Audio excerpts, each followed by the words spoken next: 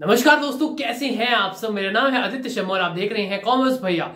सो so, आज मैं लेके आया हूँ एक काफ़ी बढ़िया इन्फॉर्मेटिव वीडियो जिससे आप लोगों को काफ़ी ज़्यादा हेल्प होने वाली है अपनी पूरी कॉलेज लाइफ के अंदर। चाहे आप फ़र्स्ट ईयर के अंदर है चाहे आप सेकंड ईयर के अंदर चाहे आप थर्ड ईयर के अंदर है। सो so, बेसिकली तो वीडियो फ़र्स्ट ईयर वाले बच्चों के लिए ज़्यादा इफ़ेक्टिव रहेगी बट सेकंड और थर्ड ईयर वाले बच्चे भी इस वीडियो को देख के थोड़ी सी नॉलेज ग्रैप कर सकते हैं। आई होप आप इस वीडियो को अपने सारे दोस्तों के साथ शेयर करोगे जो भी अभी इस टाइम पे कॉलेज में है। ये वीडियो ऐसा नहीं है स्पेसिफिकली कॉमर्स बच्चों के लिए है ये सारी फील्ड्स के लिए सारे बच्चों के लिए जो कि अभी कॉलेज में है। क्यों? क्योंकि आज हम बात करने वाले हैं कुछ ऐसी हैबिट्स की जो कि आप लोगों को डेवलप करनी चाहिए अपनी कॉलेज लाइफ के अंदर, जिससे आप लोग काफ़ी सक्सेसफुल बन पाएँगे कॉलेज के बाद। शुरू करते हैं इस वीडियो को बिना किसी प्रॉफिट और लॉस के। सो यार कॉलेज लाइफ के अंदर ना आप लोगों को वैसे तो काफ़ी सारी हैबिट्स को अपनाना पड़ता है, काफ़ी सारी आपकी हैबिट्स चेंज होती है स्कूल लाइफ से कॉलेज लाइफ में आते वक्त। बट मैंने आप लोगों के लिए कुछ ऐसी हैबिट्स निकाली है जो कि आप लोगों की सुबह से लेकर रात तक के रूटीन के अंदर फिट होने वाली है।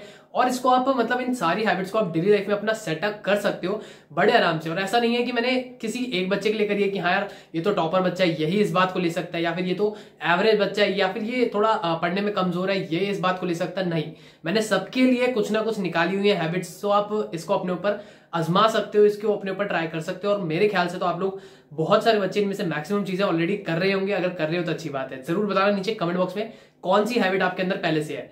तो सबसे पहली हैबिट हमारी जो है वो है रीडिंग बुक्स या फिर पॉडकास्ट सुनना। सर देखो रीडिंग या फिर पॉडकास्ट को सुनना या फिर वीडियोस को देखना ये एक काफ़ी इंपॉर्टेंट हैबिट है जिसके थ्रू आप लोग नॉलेज ले सकते हो। ठीक है मतलब या तो बुक्स रीड करके नॉलेज ले सकते हो। बुक्स रीड करने का मतलब ये नहीं है। लड़कियों की तरह आप नॉवल्स रीड करने लग जाओ मतलब लड़कियाँ करती है काफ़ी सारी, जो कि नॉवल्स रीड करती है फिक्शनल आपको वैसा नहीं करना है। बुक्स रीड करने का ये मतलब है, आप थोड़ी माइंड से रिलेटेड या फिर नॉलेज से रिलेटेड बुक्स को पढ़ो, जिससे आपकी नॉलेज इंक्रीज हो। तो ऐसी बुक्स को पढ़ोगे तो नॉलेज ऑब्वियसली बढ़ने वाली है। या फिर आप पॉडकास्ट सुन सकते हो। पॉडकास्ट आजकल बहुत ज़्यादा ट्रेंड में चल रहे हैं। सो आप ऑडियो पॉडकास्ट ऑडियो पॉडकास्ट सुन सकते हो या फिर वीडियो पॉडकास्ट सुन सकते हो, जिसके अंदर आप लोगों को बेसिकली नॉलेज मिलेगी। आप किसी भी नॉलेजेबल पर्सन का पॉडकास्ट सुनो तो आपको पता चलेगा उसकी नॉलेज आप तक शेयर होगी या फिर आप तीसरी चीज़ कर सकते हो वीडियोस देख सकते हो इन्फॉर्मेटिव वीडियोस जो कि मैं खुद भी बहुत सारी बनाता हूँ और देखता हूँ। तो मुझे बड़ा मज़ा आता है ये सब चीज़ें करने में सो आप भी ये हैबिट आजमा सकते हो और अपना सकते हो। सेकंड आती है पढ़ाई करना या फिर स्टडीज़ पे अपना ध्यान लगाना।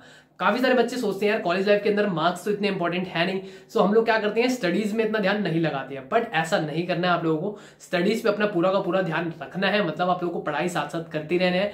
अगर आप साथ साथ पढ़ाई करते रहोगे तो आपको फाइनल एग्ज़ाम्स जो होंगे ना, उसके अंदर आपको बिल्कुल दिक्कत नहीं आने वाली है। साथ साथ आपकी जीपीए मतलब सीजीपीए अच्छी मेंटेन रहेगी।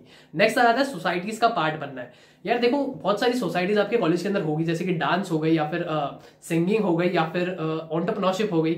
अलग अलग सोसाइटीज आज के टाइम पे कॉलेजेस के अंदर होती है। और कुछ कॉलेजेस के अंदर तो भाई साहब, दस, बीस, तीस बहुत सारी सोसाइटीज होती है। सो मैं आप लोगों को सजेस्ट करूँगा, आपको जिस भी चीज़ में इंटरेस्ट हो, जिन भी लोगों में इंटरेस्ट हो, आप उस सोसाइटी का पार्ट ज़रूर बने। इससे आप लोगों को एक एक्सपोजर मिलता है। नए लोगों से आप बातचीत कर सकते हो और अपनी ही फ़ील्ड के लोगों से मतलब सपोज़ आपको डांस पसंद है तो आप डांस करने वाले लोगों से ही बात कर पाओगे। फाइनेंस पसंद है तो आप उसकी सोसाइटी को ज्वाइन करो फाइनेंस करने वाले लोगों से मतलब जो फाइनेंस में इंटरेस्ट रखते हैं, उन लोगों से बातें कर पाओगे तो थोड़े इंट्रोवर्ट से एक्सट्रोवर्ट बनने में हेल्प हो जाएगी आपकी। सो नेक्स्ट हैबिट है हमारी इवेंट्स का पार्ट लेना है आप लोगों को, या फिर एज अ ऑडियंस लो, चाहे आप एज अ पार्टिसिपेंट लो। मैं आपको सजेस्ट करूँगा कि एज अ पार्टिसिपेंट ज़्यादा इवेंट्स का पार्ट लो। कॉलेज के अंदर काफ़ी सारे अलग अलग टाइप के पूरे साल के अंदर इवेंट्स होते हैं। सो तीन साल में तो आप समझ जाओ कितने सारे इवेंट्स होने वाले हैं। सो आप उन इवेंट्स का पार्ट लो, साथ ही साथ मतलब चाहे ऑडियंस में बैठो या फिर पार्टिसिपेंट बनो, एक चीज़ ज़रूर करो मतलब दोनों में पार्ट ज़रूर लो। और साथ ही साथ फेस्ट होती है बहुत सारे कॉलेजेस के अंदर, आपके कॉलेज में हो रहा है, दूसरे के कॉलेज में हो रहा है, सारे फेस्ट को अटेंड करो यार, बहुत मज़ा आता है एंजॉय ज़रूर करो। नेक्स्ट आता है हमारा इन्वेस्टमेंट इन्वेस्टमेंट एक ऐसी चीज़ है जो कि बहुत सारे बच्चे पीछे छोड़ देते हैं या फिर नहीं करते हैं। सो मैं आपको सजेस्ट करूँगा यार, अपनी कॉलेज लाइफ के अंदर इन्वेस्टमेंट करना स्टार्ट करो। चाहे डेली का आप हंड्रेड रुपीज़ से ही स्टार्ट कर दो मतलब डेली का तो नहीं वीकली या फिर मंथली या फिर ईयरली प्लान को आप अप्लाई करो अपने ऊपर। एस वगैरह जो होती है सो so, इन सब चीज़ों के अंदर वैसे मैं इतना नॉलेजेबल नहीं हूँ इन सब चीज़ों से रिलेटेड बट फिर भी कॉमर्स फ़ील्ड से हूँ तो आप लोगों को इतना बता सकता हूँ इन्वेस्टमेंट आप लोगों की बहुत हेल्प करेगी इन फ्यूचर और लॉन्ग टर्म प्लान रखो छोटे मोटे मत बनाओ यार मेरे को ना दस महीनों के लिए इन्वेस्ट करना है। दस महीने नहीं दस साल के लिए इन्वेस्ट करो ताकि आपका जो लॉन्ग टर्म गोल है वो अचीव हो पाए। नेक्स्ट आ जाता है स्किल्स भाई, आपको अपने स्किल सेट को इंक्रीज करना है स्किल सेट आपको अच्छा बनाना है सेल्फ ग्रोथ पे ध्यान देना है। इसका ये मतलब है, आप ज़्यादा से ज़्यादा स्किल्स को सीखो। इसका ये मतलब है कि कॉन्फिडेंस आना चाहिए आपके अंदर पर्सनैलिटी डेवलप होनी चाहिए। और भी काफ़ी सारे स्किल्स होते हैं जो कि आप लोगों को सीखने हैं। स्किल्स के ऊपर मेरी पहले ही कुछ वीडियोज़ है, आप उनको ज़रूर देख सकती है। नेक्स्ट आता था हमारा कोर्सेस यार देखो, आप लोग कॉलेज लाइफ के अंदर ना बहुत सारे बच्चे क्या करते हैं, अपना सीवी मेंटेन नहीं करते हैं। मतलब सीवी के अंदर बनाना सीवी अलग बात है बट सीवी के अंदर कुछ कोर्सेज को ऐड करना स्पेशल कोर्सेज जो कि आपकी नॉलेज को इंक्रीज करते हैं एनहेंस करते हैं, आपको वो ज़रूर करने हैं। सपोज़ अगर आप एक बीबीए बीकॉम के बच्चे हैं तो आपको finance related accounts related courses को करना चाहिए और मार्केटिंग रिलेटेड कोर्सेज को सीखना चाहिए।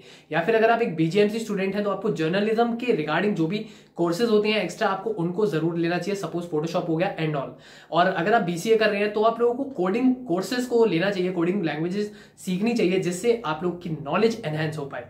सो कोर्सेज हर फ़ील्ड के लिए मैं अलग अलग वीडियोस लेके आऊँगा बहुत ही जल्दी सो आप उनको ज़रूर देखना। नेक्स्ट आता है हमारा टाइम मैनेजमेंट यार कॉलेज लाइफ के अंदर अगर आप टाइम मैनेजमेंट अच्छे से कर पा रहे हो ना सो इसका ये मतलब है कि आपकी लाइफ भाई साहब आगे चल के बहुत सही होने वाली है। अगर आपने टाइम मैनेज करना सीख लिया मतलब आप सुबह टाइम से उठ रहे हो, बच्चे पूछते भैया हम लोग सुबह कितने बजे उठे जिससे हमारा टाइम मैनेज हो जाए? सर देखो इट्स अप टू यू आपको कोई टाइम टेबल बनाने की ज़रूरत नहीं है बट आप टाइम मैनेज ज़रूर करो। इसका ये मतलब आप टाइम वेस्ट मत करो यूटिलाइज ज़्यादा से ज़्यादा करो, ये मेरा फंड है। नेक्स्ट आ जाता है हमारा वर्कआउट फिट या फिर प्ले मतलब यार, या तो वर्कआउट करो या फिर जो भी तरीके से फिट रहो या फिर फे मतलब प्ले करो, खेलो, कूदो, ये सब करो. सो आपको याद होगा बचपन में ना, आपका पता नहीं बट मैं काफ़ी ज़्यादा बैट बॉल या फिर हम कह सकते क्रिकेट या फिर फुटबॉल ये सब चीज़ें खेलता था. वॉलीबॉल वगैरह बहुत खेलता था मैं बचपन में. बट जब से हम बड़े हुए हैं इलेवंथ क्लास आई है ट्वेल्थ क्लास आई है या फिर टेंथ क्लास आई है, इन क्लासेस के अंदर हमने खेलना छोड़ दिया था.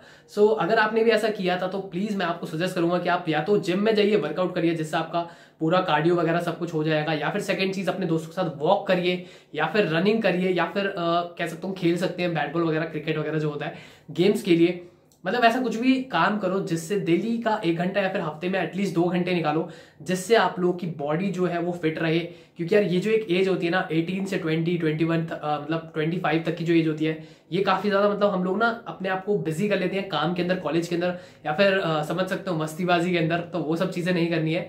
ये या फिर ये सब नहीं करना है आप लोगों को क्या करना है? खेलना कूदना है ठीक है? सो अभी इस चीज़ की उम्र है आप लोगों को अपनी बॉडी को फिट रखना है। जितना ज़्यादा बॉडी को फिट रखोगे उतना ज़्यादा आप लोगों के लिए अच्छा रहेगा। सो so, जूनियर्स ये थे काफ़ी सारी हैबिट्स जो कि मैं अपनी लाइफ में भी आजमा रहा हूँ और अपनी लाइफ में अपना रहा हूँ।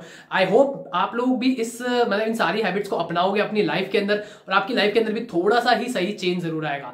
अगर आप लोग इनमें से कोई भी हैबिट को पहले से ही अपने ऊपर ट्राई कर चुके हो या फिर डेली बेसिस पे करते आ रहे हो कि जैसे रीडिंग आप डेली बेसिस पे करते हो तो प्लीज़ कमेंट करके ज़रूर बताना। बहुत अच्छा लगता है जब आप लोगों के कमेंट्स आते हैं। वीडियो को शेयर ज़रूर करना और लाइक ज़रूर करना। मिलते हैं अगली वीडियो में भी इतना ही। धन्यवाद।